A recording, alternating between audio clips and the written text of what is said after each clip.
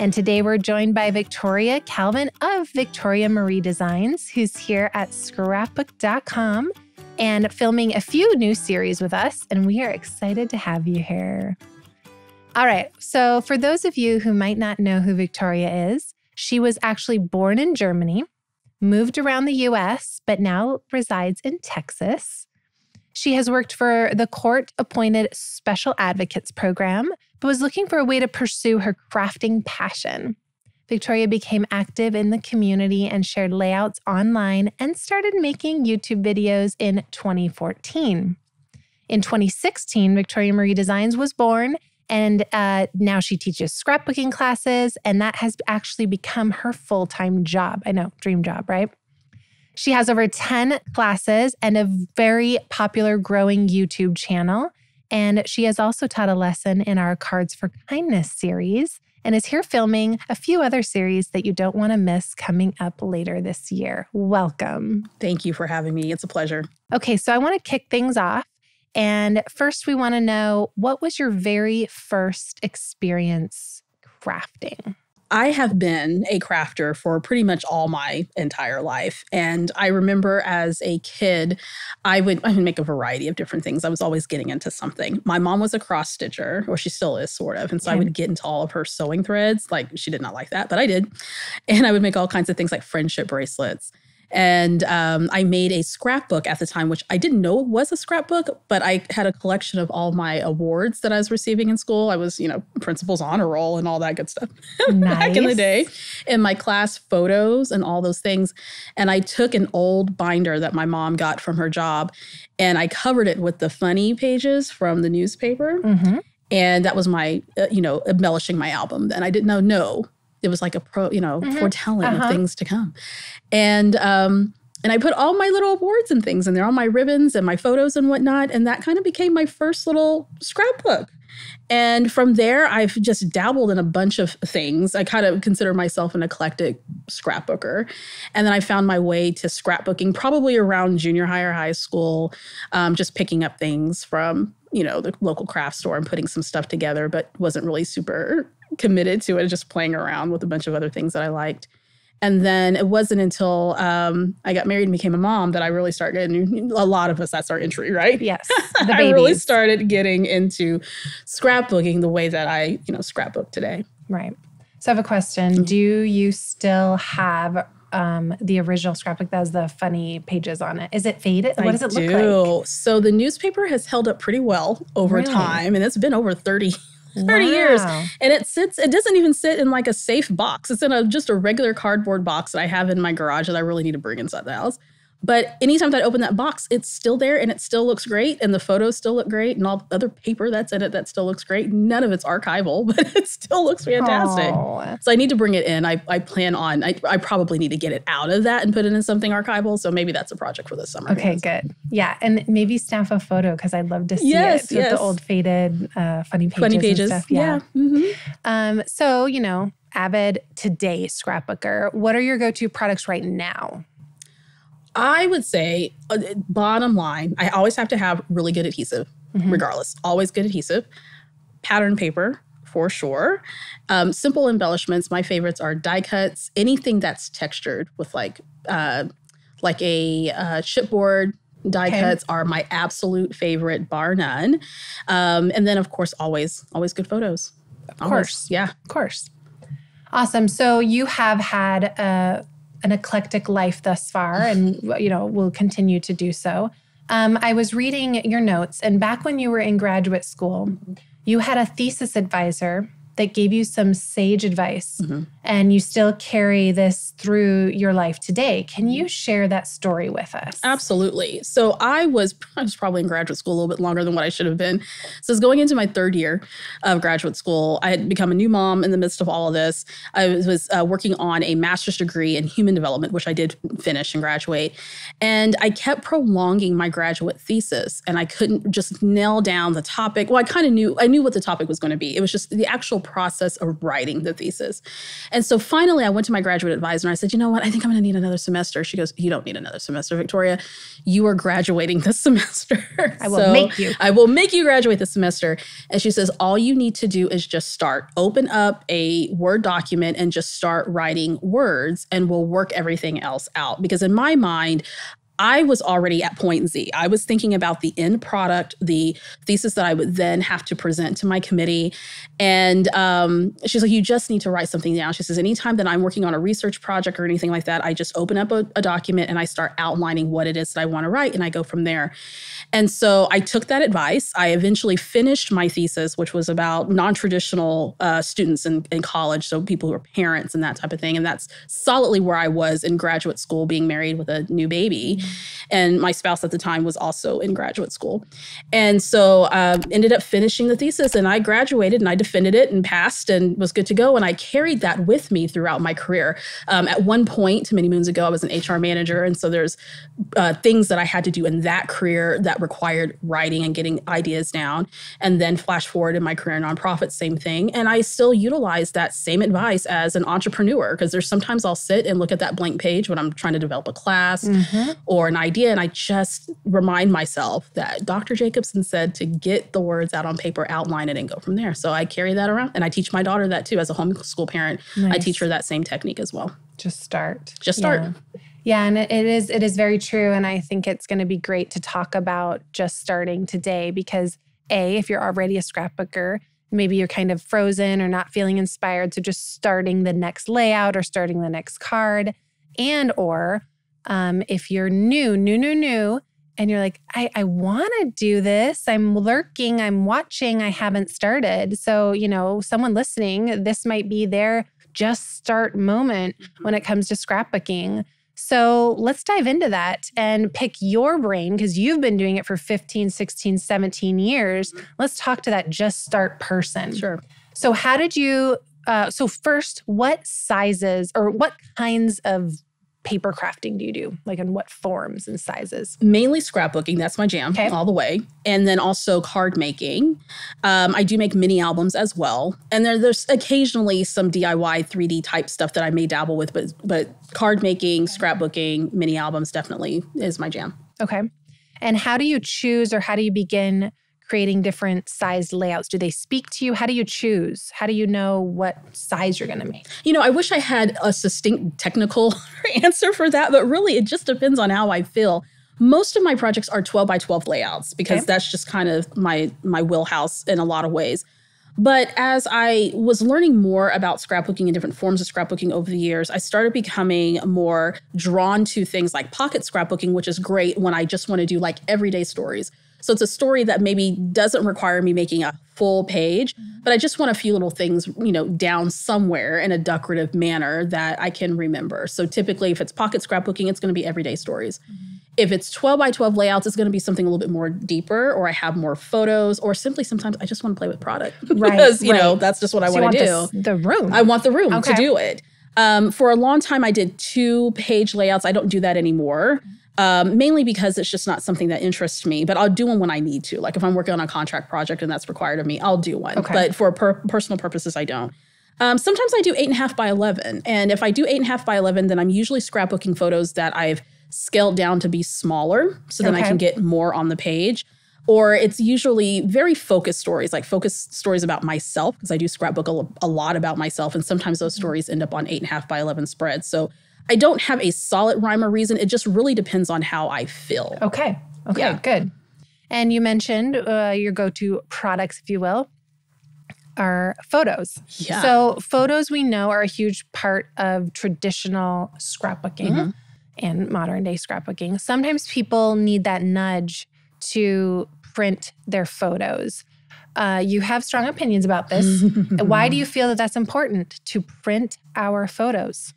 Mainly because and i and I've learned this over the years not only from personal experience but also because we just simply need to print them. The the digital media will only exist for as long as it exists. When you save your photo to say Google Photos or if you're using iCloud or a number of others and you don't own that product, it's not proprietary to you, they can eventually just go away. And so can any of the data that you've stored on those platforms.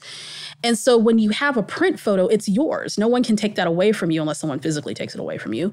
And barring there's no natural disaster or house for any house fire or anything like that, your photos are relatively going to stay pretty much intact if you have them stored in an archival safe box or in a photo album. But it's one thing to have them stored digitally, which you should as a backup but you also need to print them as well because there's no guarantees that that digital medium is going to be available to you 10, 20, 30 years down the road. Technology comes and goes. And so having print copies of your photos becomes essential. And also, too, um, it's easier to look at your things, at your photos when they're printed versus pulling up thousands upon thousands of photos Agreed. on a phone or on a computer. So I am a big advocate for printing your photos. Right. Definitely. And I know just from my experience looking through the phone or device, that can almost be overwhelming. And then you then don't Mhm. start. But if you're one moment away from holding the photo to scrapbooking, Absolutely. start. Absolutely. Yeah. So, uh, to our listeners, if you've listened, we have had Shari Pack of Persnickety Prints on here. And I think you feel the very same way as her that, you know, she feels the same way. Get them printed, Yeah. you know? yeah. She's like, she is preaching from the mountaintop uh, all the time in her Instagram videos and whatnot, telling people to print your photos. And, you know, and I think not only because she owns a print company, clearly, she wants you to, you know, print your photos. But she makes such really good points about, you know, the, the technology piece of it, the having a physical photo, the embracing those memories. And so it's good to hear that there are other people that are championing, you know, printing your photos for sure. Okay, so the person, they have the supplies, they have the paper, they've got their photos printed, they have their adhesive. What's next? What do you tell them? So you have all the materials. Now you just simply start. And usually what I tell people is there's really no right or wrong where you start. Just start where you're you feel naturally drawn to. So for me, for many years, I always start with the background if I'm constructing a layout. So I get my papers, I lay out something really nice and simple, a nice space. Then I put my photo down, mm-hmm. and then I add a few little embellishments. Then I may add a title and some journaling. And then if I feel that I need to add anything else, then I will. And I've sort of developed sort of this creative process or this flow as I am putting together a layout. Sometimes it just comes together real nice and organically, and sometimes it doesn't. But my main advice is you just have to start putting something down on the page. And here's the thing it doesn't have to be permanently there on the page. So if you don't like where you put something, just remove it and put it in a different position. Or if you don't like a particular die cut or whatnot that you put down, it's okay. Just take it off and put something else on. I think what happens is people get creative paralysis. And it's very easy because, you know, we have this great thing called the internet, right? So yeah. you can go to YouTube and you can look at blogs and go to, well, who's looking at blogs this day? Hello, 90s. Um, I hope you're looking at the blogs for those of us who have blogs. Um, but you can go to Instagram, you can go to all these different places and get tons of creative inspiration. And when you're new, and I definitely experienced this as a new scrapbooker, is feeling as though my layouts had to look like the person's in the magazines or in the whatever it was. I was looking at a lot of magazines at that mm-hmm. time. Mm-hmm. And so my very first sort of official layout took me two weeks to complete. And so I've learned over the years to just start. Even now, as a professional designer, I sometimes will have to sit and look at a project and say, okay, Victoria, get out of your way, own way, and just start. So for mm-hmm. those of you who are new, get all your supplies together, take a deep breath, grab a drink and a snack, relax. Yeah. And lean into the creative process and just put the materials down and have some fun playing and moving things around until you get into a composition that you feel works well for your layout. Nice. And you're describing it dry. Like you're saying you lay them all down eh, dry without any adhesive. You start Sure, moving and absolutely. piecing. And then eventually, and I usually I will t- I uh, say this a lot in my live streams. I'll say, you know, let's just go ahead and add some adhesive and commit because at some point, some point. you need to commit to this, right? Stick it down. So move the things around, but don't move them around to inertia. Just make some decisions, add the adhesive, put them on your page, and, and move it right. along. Yeah. A little bit to the left, a little bit to the right. Just put it down. Yes. Just put it down. And what happens when you first start, I want to point this out real quickly. When you when you first start moving things around and getting things done, what you're doing is you're exercising your creative muscle. You're kind of getting that initial, you know, creative energy out. And I always say my first layout always is my worst. Worst layout. It's not always my favorite first one. layout. So get that one done and then you move on to the rest of them they'll be beautiful. I love that. it is it is true. Kind of Yeah. like the first pancake. Yes. The first one's always just kind of little janky little pancake. You know, it's not perfectly round. It might be a little burnt. And then you make, you know, 10 more and they're perfect. Mm-hmm. Yeah, it's seasoned. It's- it's- it's- Exactly. It's, it's good. yeah. So another question then, people have all that. Um, they they might not know what to document, especially if they're in different phases of their life. Mhm. What what advice do you have for someone that's like, I don't know what to document? Sure. I always say go to what is the most important thing that if you were to not scrapbook ever again, what would be like, say, the top 10 stories or remembrances or experiences you would want to remember and maybe Okay. start there? For some people, they're driven more by events. So if that's what you want to scrapbook, scrapbook events, scrapbook holidays, start there. If you're more drawn to um, everyday stories, Mhm. start with that. Start with maybe something you experienced recently, or maybe just your everyday flow or your Mhm. schedule, or maybe something about work or Mhm. or whatnot.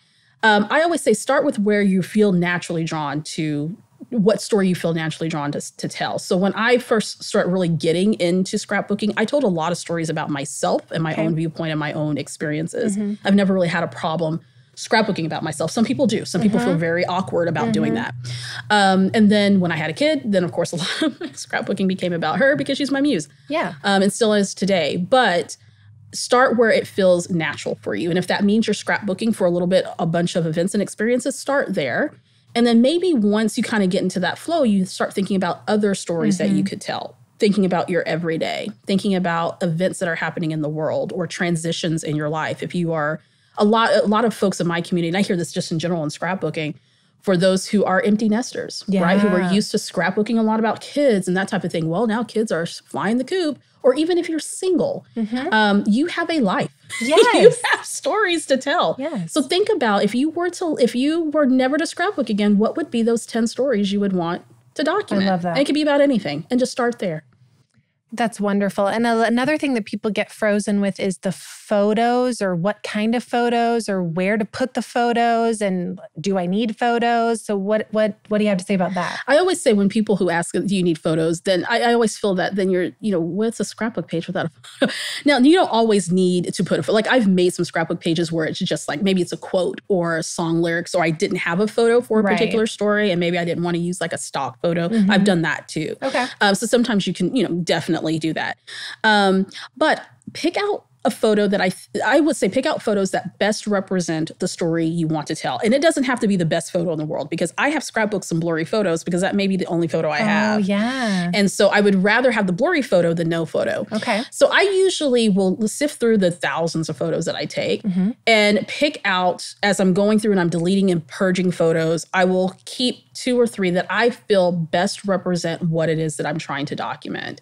Um, it may be a little bit more if it's vacation photos. Yes. Um, like I have an upcoming Disney World vacation, so there's gonna be a lot of the photos there. Oh yeah. But my first Disney World trip, I'm not even going to tell you how many photos I have of Okay. that. But it's a lot. But but uh, point being is to pick out two or three photos that you feel best represent that and start and start Okay. from there. I think a lot of folks, particularly new scrapbookers, feel um, called to scrapbook all the photos. yes, I've heard that. Yes. And so physically on a scrapbook page, you can't put all the photos No. on a scrapbook page.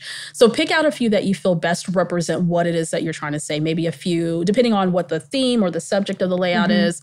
If it's people heavy, pick out a few that best represent those individuals, Yeah. whoever it is that you're telling the story about. If it's, um, say, you have some hiking pictures, Mhm. pick out a few of those landscape photos that best represent that story and let that go in your scrapbook. Because here's the thing those extra photos you can always put in a photo album. Exactly. Yeah, they don't have to go on a layout. Yeah. They, and yeah, they, there's the scrapbook, and then Yeah. there's just the regular photos to sift through later. Absolutely, Yeah. absolutely. And I, it took me a while to learn that because I was one of those who tried to scrapbook all the photos and quickly learned there's only so much you can get on a scrapbook page.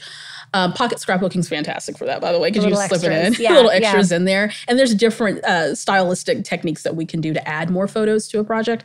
But I eventually took the pressure off myself and said, you know what? I just need these little, these two or three Yes. to tell the story. Mhm. And then I focused more on the words for that project versus the photos so much. And then the rest of the photos go either in cold storage or they go in an album. Okay. Yeah. So when you talk about words, what do you think about journaling? Does every layout need journaling? What is journaling to you? Sure. My I always ask if someone were to, someone were to look at your scrapbook mm-hmm. and they were looking at the photos and there were no words there, what do we want them to convey from that page? I my mother had kept photo albums for years and she would write maybe small descriptions or none at uh-huh. all. And so we were recently going through some albums, and this woman has no trouble throwing photos out or Oh. or whatnot. Okay. Yeah. So she well cutting people out that she doesn't like Oh, out of her oh. photos. Yeah. So we got Oh, some of those in the photo albums. too. Okay. I Absolutely. And I think at one year she broke up with a, a boyfriend she was dating and she burned some photos. Oh, Okay. And our barbecue grill, we like, yeah, it was cathartic. It was her, you know, her Yeah. whatever. So I would, I don't think I'd ever burn photos, but she was like, whatever. So she's throwing all photos away.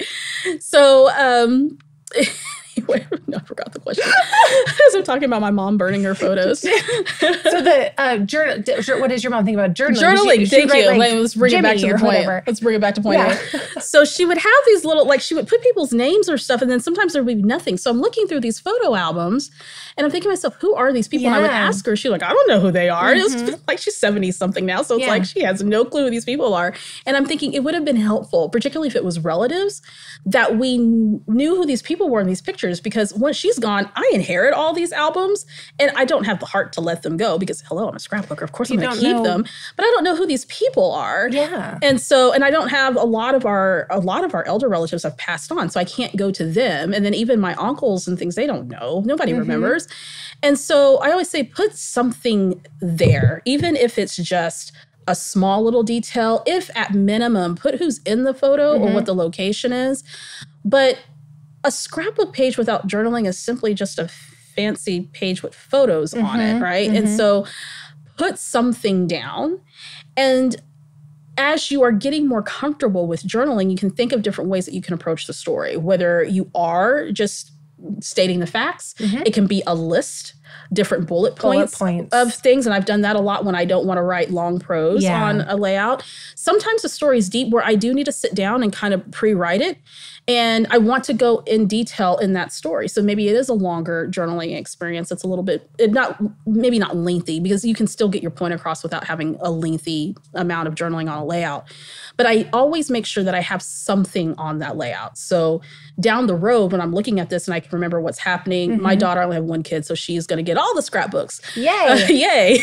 so she will know what's in the what those stories are because the Mm-hmm. stories I think are the meat are of what we do. And so if you're going to put a beautiful photo down there, have some words with it, even if it's just little details. Yeah, you you paint a very real, very slightly scary uh, experience there Mm-hmm. or, or story because you're not talking about a great great grandma's album. You're talking Mhm. about one generation away from yourself, Absolutely. and you don't know who Jimmy is or Y- uncle, whoever. Like Yes. it's yeah. So write some dates, write some names, write some bullet points. Something. Okay. Yeah.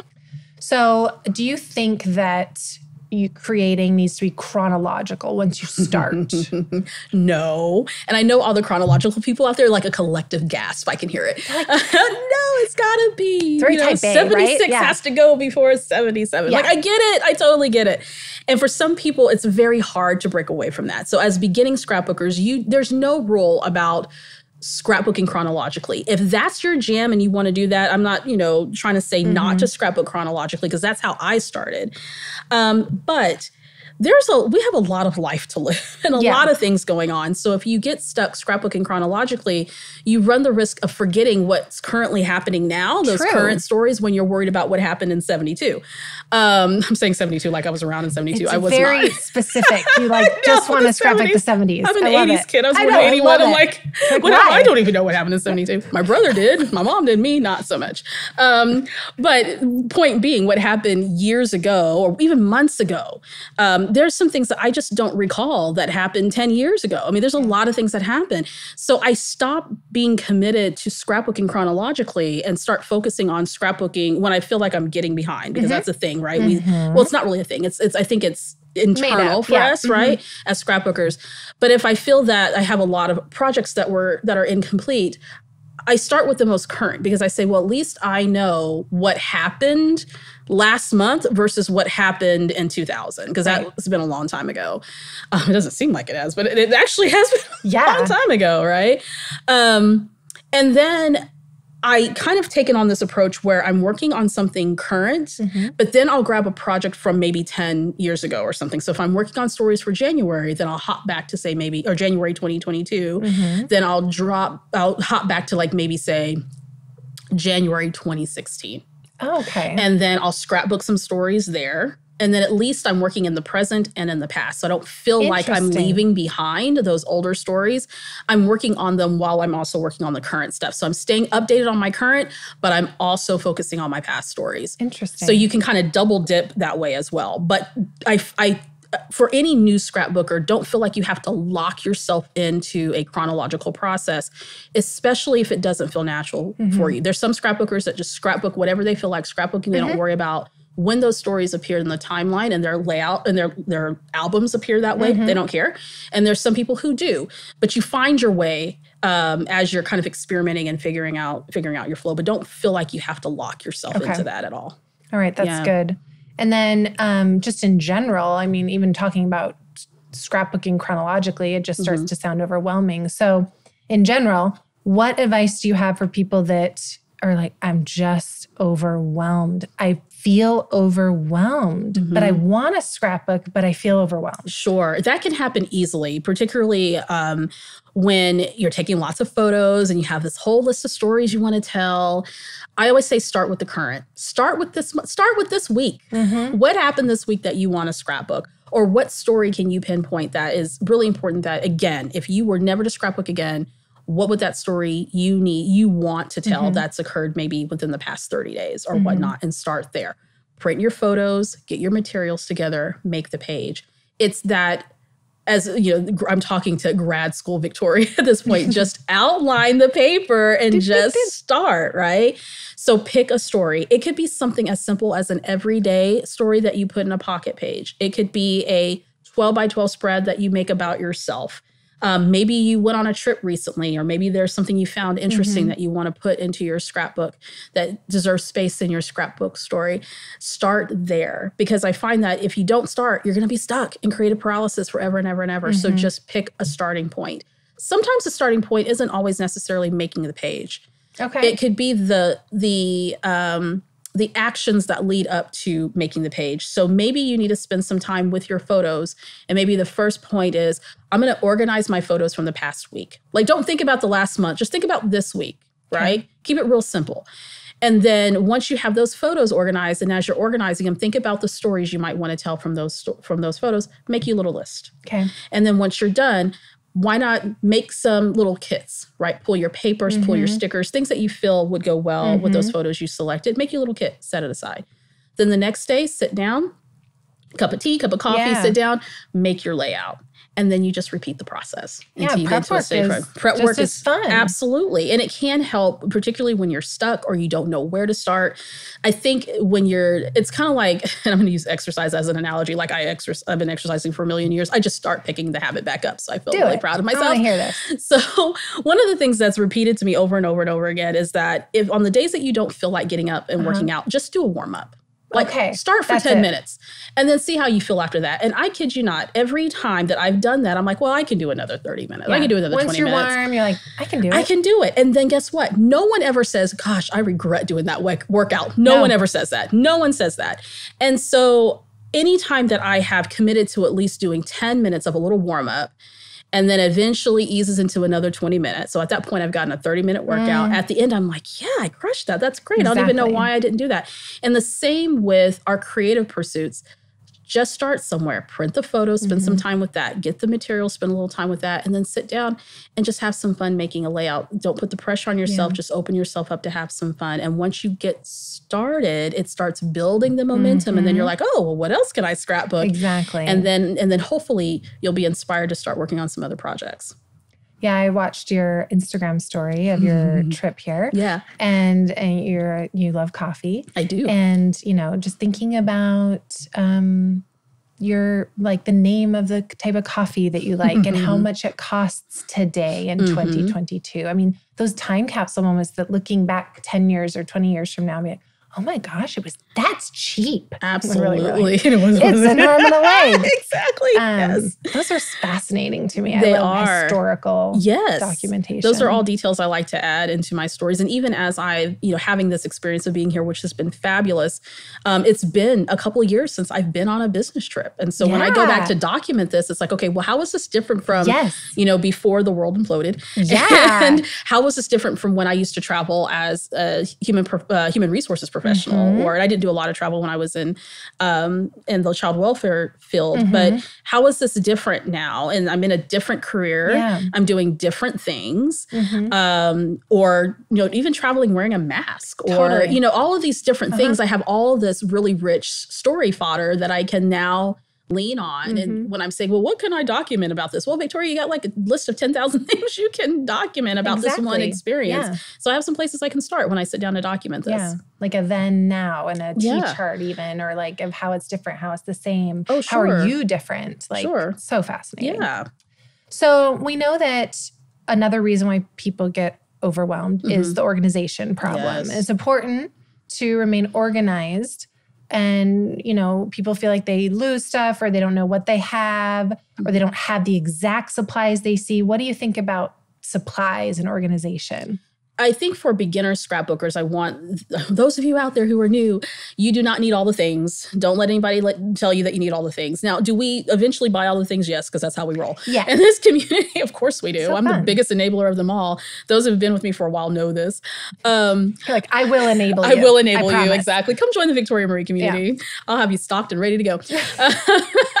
but when you're first starting out, it's really paper, some a cutting tool of some sort, scissors, your photos, a few little embellishments, maybe some stickers for a title, and you're good to go. Okay. Um, as you are gaining in your scrapbooking skills and learning new techniques and stuff, then you can introduce some other products and kind of fill, you know, kind of fill that out.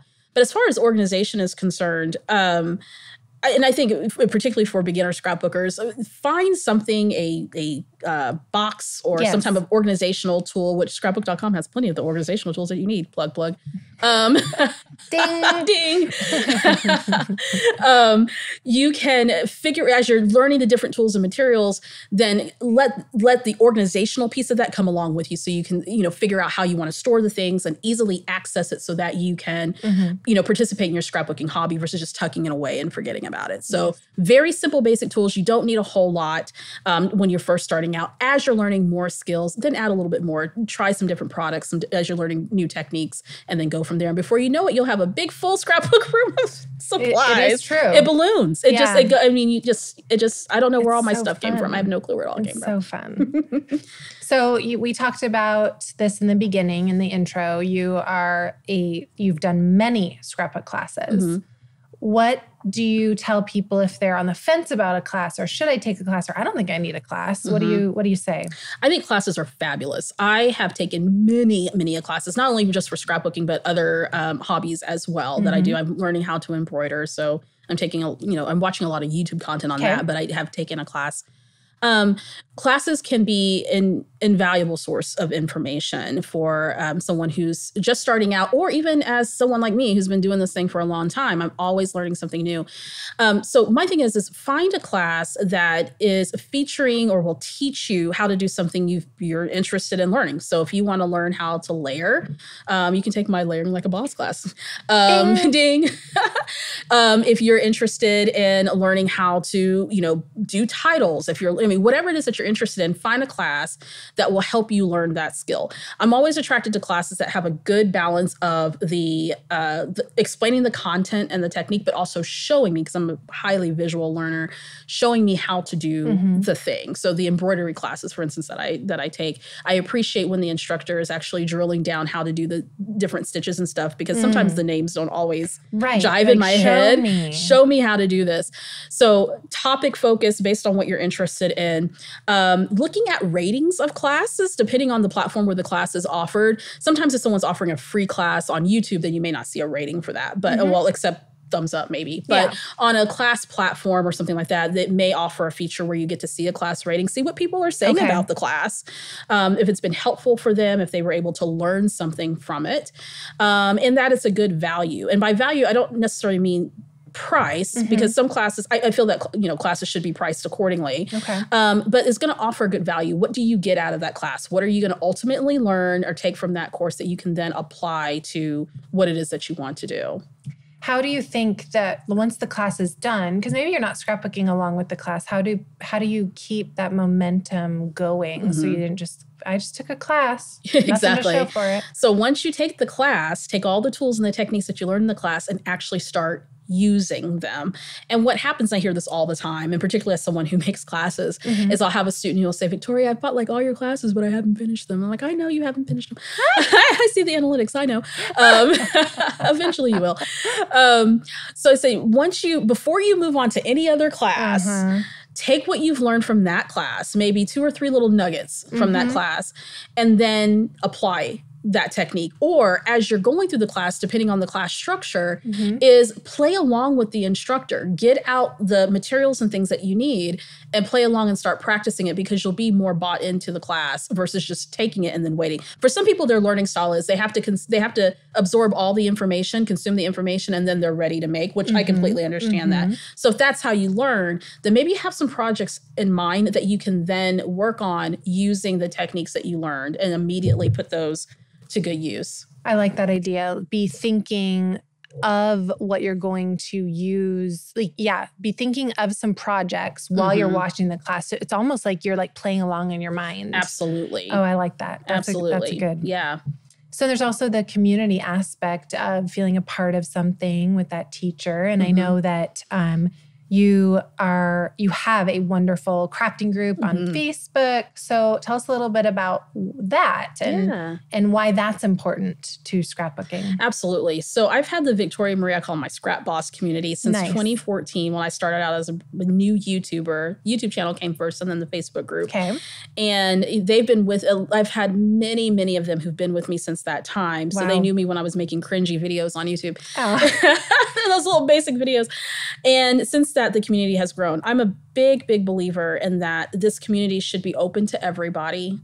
Um, that it should be a place where where people find it to be a creative respite Mhm. that they find friends they're able to connect and over the past couple of years i i think it really solidified in me how deeply important those connections are in a time where we were disconnected both a lot physically because we all couldn't get together and um, so those the online communities especially in, at least in my experience became invaluable for a lot of my community members and just you know me being a part of the community in general not just a part of my own facebook Mhm. community but just others Mhm. um, I have met some fantastic people who are just sweet and fabulous and creative and talented and who pour their energies into the community and are so open and welcome. One of the things I want just a nod to the Victoria Marie community is Mhm. that um, I've never had any drama issue Wow. in my online community, not once. Um, and I'm very, very protective of my community, not like in a weird cult way. Like I don't want people coming. I'm like Victoria has a cult. not I've that seen that group. not that. It's like, oh, that's that the little cult that enables each other. That we do do. Yes. That is Um, promised. We do. We will enable you.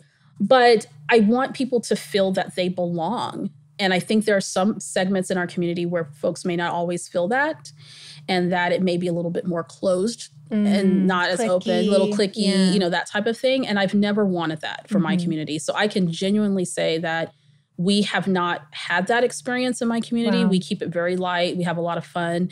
People are open to share or observe because I have many people who've been with me for a long time that they've not shared not one layout, but they just like hanging out because it's you know it's not it's a it's a place where they enjoy being Right. and they play in other communities as well which i think is important um, but that connection and and being able to share this love of scrapbooking for a lot of folks this may be their only source of connecting with other individuals and that becomes super important Mm, yeah. um, or people who don't have friends that scrapbook or Yeah. you know or that's just not supported or maybe Mhm. it is but it's just not that person's jam and that's cool but they know that they can come to whether it's my community or other Mhm. communities um, and be a part of storytelling and be a Mhm. part of this you know buying Yeah. stuff and us enabling each other and having fun and and then hopefully you know as things kind of change a little bit and ease up then maybe we can get back to in-person yes. things Meetups. um, a Yeah. lot of i remember one of my my croppers uh, she came to my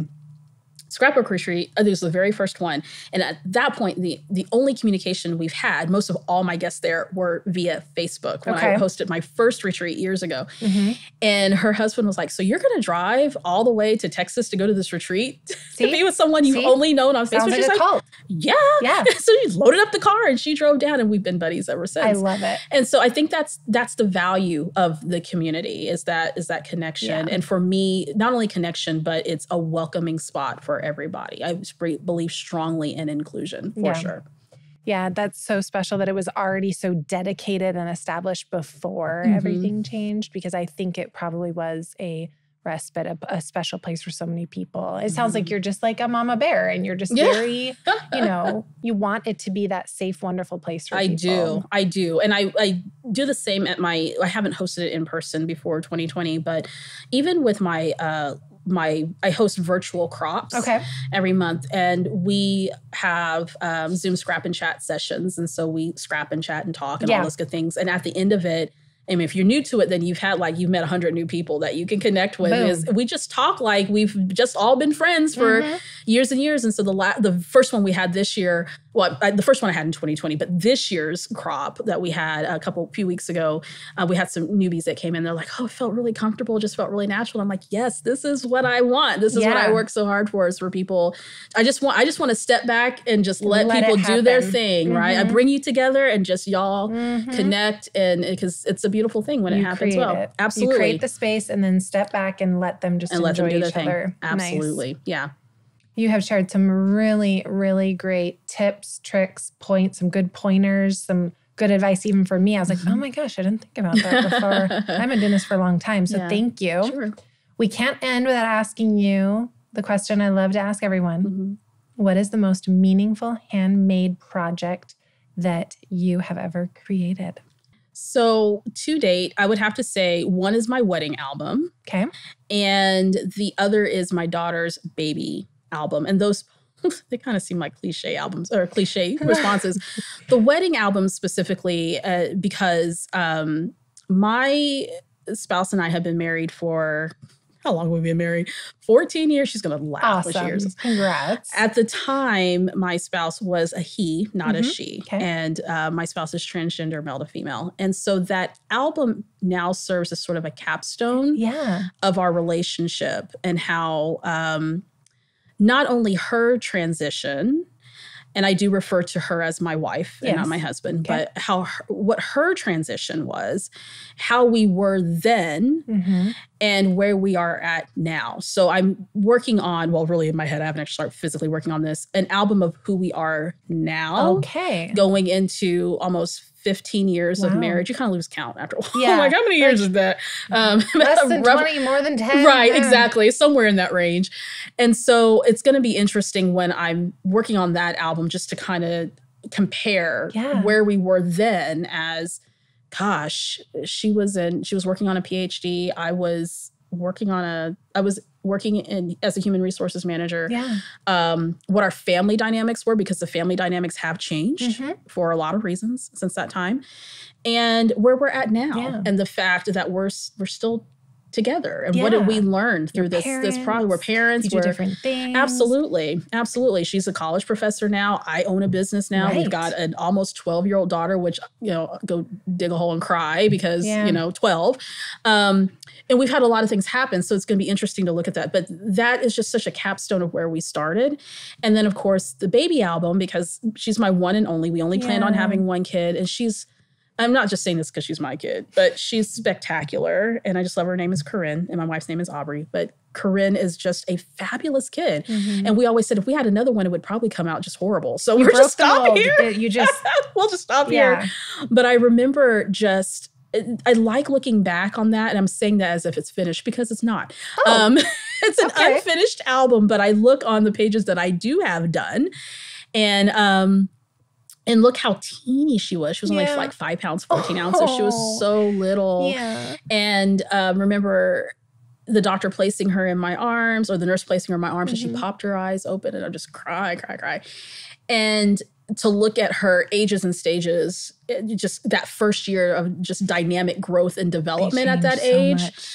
And um, now it just seems like so long ago now that she's Mhm. going to be 12 and she's solidly in the preteen years Mhm. and you know mom i love you mom you're sus you know you know Uh-huh, it's just it's a uh-huh. totally different dynamic so if if you know something ever happened i could care less about any other scrapbook i made those are the two if i had to flee an emergency or whatnot then those would be the two that i would grab for Those- those reasons Wow. Yeah. I love that.